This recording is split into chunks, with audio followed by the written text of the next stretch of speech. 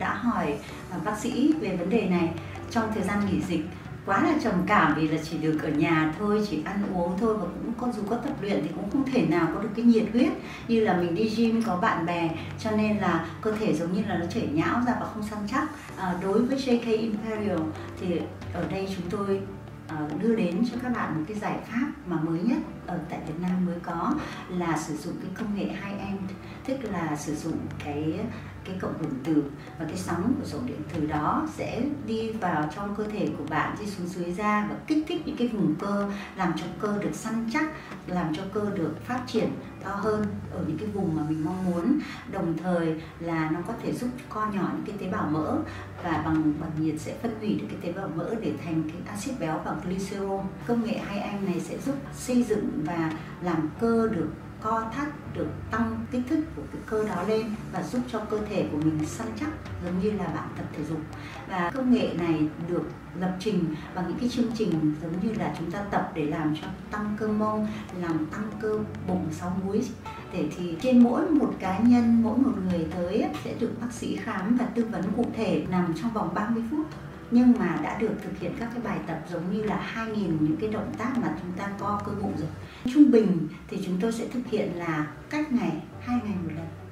Và chúng tôi làm trong vòng 10 ngày. À, nó còn phụ thuộc vào cơ địa của mỗi người. Ví dụ những người đã và đang tập gym mà bây giờ chỉ vì không được tập mà cơ kém săn chắc thì hiệu quả sẽ rất là rõ rệt trong vòng một, một liệu trình 10 ngày. Đối với những người mà khối cơ quá lớn và cái cơ nhẽo hoặc là um, khối mỡ quá lớn thì sẽ cần những cái liệu trình kéo dài hơn. Ờ, nhưng cái cái bí quyết ở đây ấy, là khi ta đã thực hiện một liệu trình rồi thì ta sẽ tiếp tục duy trì cho hết cái liệu trình đó chứ chúng ta không thay đổi chương trình. Tại vì nhiều khi cơ thể chưa đáp ứng được tiếp có thể các bạn làm một lần, hai lần, các bạn chưa thấy là thấy có hiệu quả lên thì đã bảo ủng muốn thay đổi. Thì thực tế ra cơ thể cũng vậy là cần phải đáp ứng với cái chương trình tập và ta tuân thủ cái điều đó. Và cái sự thay đổi đấy thì sẽ được bác sĩ khám và chỉ định lại trong cái việc thay đổi sao cho nó phù hợp.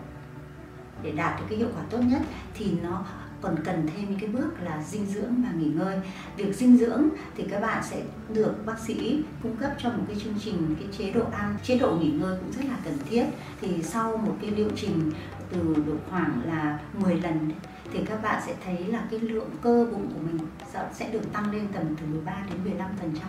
mà mỡ thì cũng được giảm bớt. Tuy nhiên cái giảm mỡ ở đây thì giống như là tế bào mỡ được co nhỏ lại. Nếu một phần nào đó nhỏ thôi sẽ được phân hủy để trở thành axit béo và cholesterol. Nhưng cái mục đích của chúng tôi ở đây sử dụng công nghệ này là để kích thích cơ, kích thích cơ của chúng ta khỏe lên, săn chắc hơn, để giúp cho cơ thể được là co gọn trở lại. Và